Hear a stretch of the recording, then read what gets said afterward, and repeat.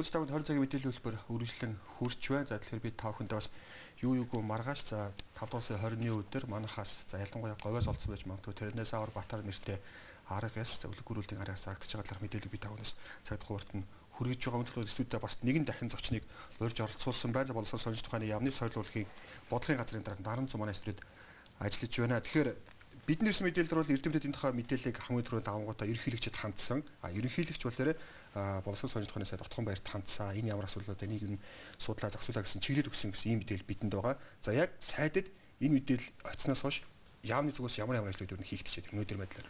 За мэдээж ерөнхийлөгч бол отхон баяр сайд руу хандах нь бол одоо яг зөв ёсны хэрэг. Яагаад тэгэхээр зөвхөн боловсрол соёлоос гадна шинжлэх ухаан хариуцсан гэдэг утгаар нь хамгийн түрүүнд одоо үүргийг өгсөн байна. За юу гэж хэлсэн бэ гэхээр энэ гарсан зарагдах байгаа энэ динозаврын ясыг Монголоос гаралтай эсхийг яаралтай тодруулах. Хоёрдугаарт энэ худалдааг дуудлага худалдааг тодорхой хэмжээгээр саатуулах зогсоох гэсэн ийм чиглэл өгсөн. За тэгээд Алтан баяр сайд над дүүрэг өгсөн. Эхний ээлжинд бол яамнаас ямар арга хэмжээ авсан бэ гэхээр палеонтологийн төвтэй холбогдож Цогтбаатар дарагтай яриад энэ холбогдох гарсан бүх мэдээлэл, линк мэдээллүүдийг өгөөд эхний ээлжинд тандалт дээр Монголоос гаралтаа тэр үлэг гөрүүлийн яс хүн байна уу гэсэн асуугаад тэгээд палеонтологийн хөрөлнгөөс бол энэ бол манай Баян хонгор өмнөд говьоос олддог ястай их ойролцсон юм байна. А гагцгүй тэр нэр нь болохоор Америкт зөвхөн олддог тэр динозаврын нэрээр ингээд солилцсон байх шиг байна. Тийм учраас тарбозавр буюу Монголоос одоо олддог тэр одоо юу бол хүн байна. Тэгэхээр энэ бол бас яг Монголоос үгүй гэдгийг хараахан бид нэр тогтоогүй ч гэсэн Монголоос байх гарал гарал бол ер нь 70% таа байна гэж хэлээд энүүн дээр нь үнслээд манай яам бол яаралтай одоо энийг судлах за болвол зогсоох за тэгээд энийг ажлыг Америкийн нэгдсэн улс суугаа манай Бихот элчин сайдд альбан бичиг тоот гадаад явдлын яамны дэд сайд тэнгэрд хүсэл тавьж тэргээр яаралтай явуулсны одоо үр дүнд өнөөдөр өчигдөр юм уу тий бид нар чинь цагийн зөрүүтэй болохоор элчин сайдын яамнаас нь одоо дагуу шуурхаа ажиллаж эхэлж за тэгээд Америкт байгаа манай академиг шинжлэх ухаан боловсрол соёл хариуцсан болор цэцэг гэж эмэгтэй бас энэн дээр бол давхар шугамар одоо ажиллаж байгаа учраас яадаг ч байсан Монголын засгийн газар Монголын одоо шинжлэх ухаан энэ чиглэлээс хүмүүс тэр авигдсан болохоос өмнө албан ёсоор хандах нь чухал. Хэрвээ тэр авигдсан болоод өнгөрчих юм бол одоо бас нэлийн асуудал өнгөрсөн одоо эхний ээлжинд ирж байгаа хариу энтрээс харж хахад бол тэрийг бол аль болох тэр явуулах биднээсийн тавьсан үгүйсэх ийм ажиглаж байгаа учраас яадаг ч байсан урдчлаад албан ёсоор өгөх амжих нэг чухал. За энэ маань дараагийн цаашдын гэрээ хилцээр одоо судлах энэ үндсэл маань болж байгаа. Аа нэгэн зарагсны дараа судлаад бол хэцүү. Тэгэхээр эхлээд албан ёсны хүсэл тавьсны дараа дээр бол энийг бол судлах бид нар бол тэр аукционыг бол шууд зогсоох гэсэн тийм бол шийдэл байхгүй. Эхний ээлжинд одоо төр зогсоож баталтай баталгаатай Монголоос үе судал тогтоосны дараа одоо үйл ажиллагаагаа үргэлжлүүлэх юм уу нэг мөсөн энийг одоо шийдэх шийдлийг олох хэвээр. Аа тийм учраас бид нар бол амжсан гэдэгтээ бол бас нэг бодлын их шуурхай ажилласан тухайн үед бас хамтарч ажилласан гадаад явдлын яам бас бас талархснаа илэрхийлэх хэрэгтэй. За энэ мэдээллийг яаралтай бас хүргэж өгсөн. За энэнд ингээ хандсан бүх одоо Монголынхоо одоо энэ өв соёл за тэгээд энэ шинжлэх ухаан палеонтолог гэсэн хүмүүсийн өнөөдөр ажиллаж байгаа шуурхай ажилласан хүмүүсийн бас итгэх зүтгэлийг бас энэ бас үнэлэх хэрэгтэй. Ямар ч манай тэтгэл зүгээс энэхүү тэдний нэрлж байгаагаар Тирнозавр Батар гэдэг байгаа. А манахаар бол Тарбозавр Батар гэж нэрлэдэг байгаа. Энэ зүйл 70% таа бол манах гэдэг нь бол манай эдгээс бол баталж чадхаар байгаа. Тийм. Одоо мэдээж тэр маань өөрөө нэгдүгürt өөрийн мэдээж шинжлэх ухааныхаа талаас биеийн харьцаа яс. За тэгээд тэр ясан дээр байгаа генетический одоо авах судалгаа хөрсдөөгүй хамт байдаг гэдэг хөрснийх нь одоо манай Монголын говийн мэн үү хөрс вэ нү гэдээ бан хотлогдох олон арга байдаг юм шиг байна. За би өөрөө бол яг соёл урлаг бодны хүн болохоор бас яг энэ тал дээр нарийн бас эрдэм шилжгийн тал одоо мэдээл мэддэг хүн хомс учир миний үүрэг бол энэ үйл ажиллагааг одоо тухайн үед нь шуурхаа явуулах хөргөх одоо ажиллагаанд оруулах хэвээр. А энийг хэрвээ амжилттай болох юм бол дараагийн шатанд хэрвээ мөн гэд нотлогдсон нөхцөлд энийг одоо буцааж авчрах талыг бол бас дараагийн хэрвээ батлагдсан нөхцөл бол манай яам болон шинжлэх ухааны актем за тэгээд одоо бүх одоо яам харьцаа засгийн газраас хүчтэй ажиллаж энэ төр хамтарч ажиллах хэрэгтэй. Энэ нь бол зөвхөн нэг сайд юм уу хин нэгний одоо ганцхан хийх зүйл биш.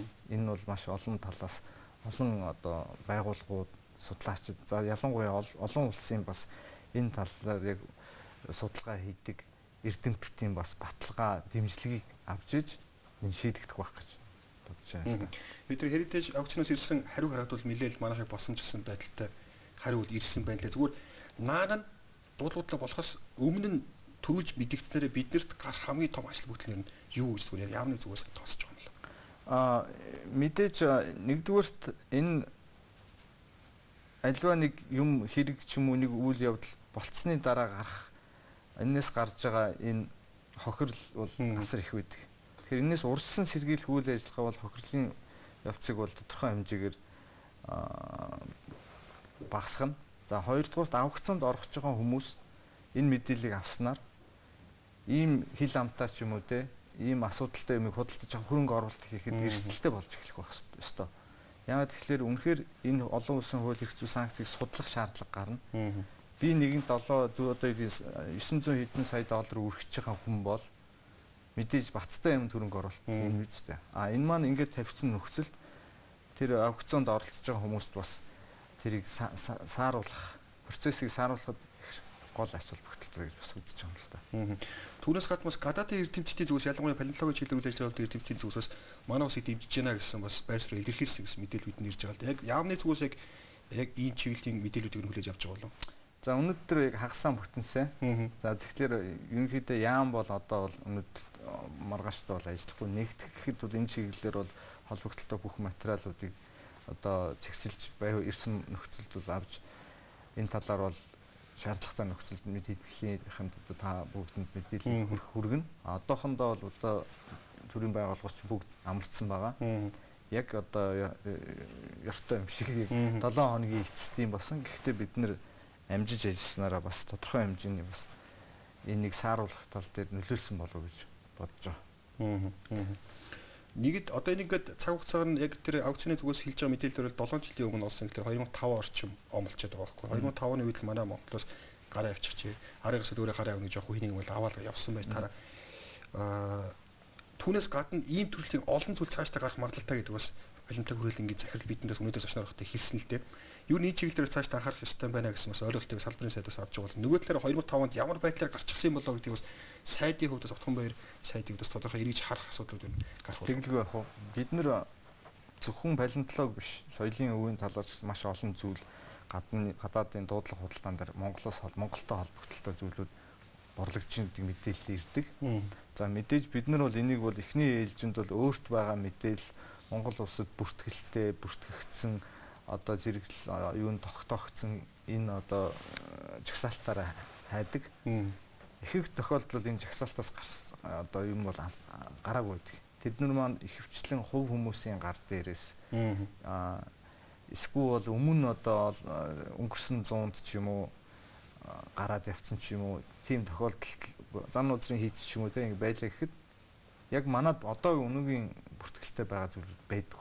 Тэгэхээр энэ болгон дээр бол одоо бас яг хав төрөөс хамааралтай зүйлэн дээр бид нар аль болох хамгаалт зогсоох энийг гэрээ хэлцээр энэ төр анхаарч ажилладаг хэдий ч бас хувь хүмүүсийн гар дээрээс явах магадлал өндөр байдаг. За 90-ад онд бол динзаврын өндөг наймаалахад их одоо мууж ах байсан шүү дээ. Тий, одоо нэлийн юу байсан. За тэрний дараа бол маш олон үлэг гөрүүлийн одоо ясны хилтерхий гэх юмнууд гардаг. За яг хуу юу байдаг вэ гэхээр манай яам дээр бол энэ олон олдврын судлах эхний ээлжин сорцын судалгаа хийх зөвшөөрлийг манай яамдаас гаргадаг л та. Тэгэхээр тэрэн дээр бол ихэвчлэн ингээд бид нар бол гарч байгаа зүйлийг шалгахад бол дандаа тийм зөвхөн эсийн шинжилгээ он цаг тогтоох гэсэн ийм зүйлүүдийг гаргадаг.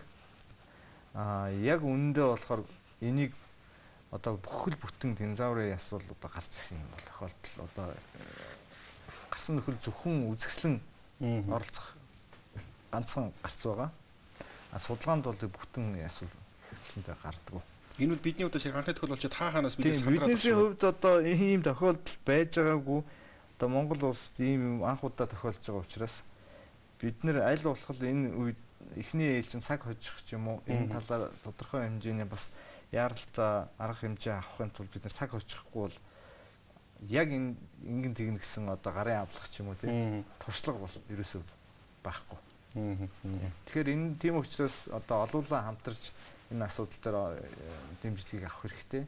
Гол нь тэр олон улсын эрх зүй санкц энэ дээр ийгээл баталгаатай болгож чадна. А Монгол улсыг тусгаар тогтносон улс гэдгийг бол энэ нэгэн одоо улс тэр нэг гол шалтгаан бий болно гэж үзэхгүй байна. За тэгэхээр анхаарлаа үзэж та бүхэндээ баярлалаа. Студидтэй бид боловсрол соёлч тухны яамны соёл урлагийн бодлогын газрын дараад наран зүүн гурч үзэж та бүхэндээ бас мэдээллийг яамны зүгээс авсан ямар зүйлийг хийвэ гэдэг мэдээллийг хүргэлээ эглэс өнөөдрийн за 12 цагаас эхлээд энэ хүү RX-тай холбоотой өрөөлөг тэрнээс аваад Баатар хэмээх нэртэй маргааш хэрэдэ чимээх аукционд зарагдах гад байгаа энэ хүү RX-ны талаарх мэдээлэл бий таагаас өдрийн туршид за ялангуяа нийгмийн мэдээлэл бэм гарыг бас бүхэлдэн зориулж та бүхэнд мэдээлэл хүргэлээ. Тэгээ анхаарлаас үзэж та бүхэнд баярлалаа. Зочиндоо бас баярлалаа. За баярлалаа.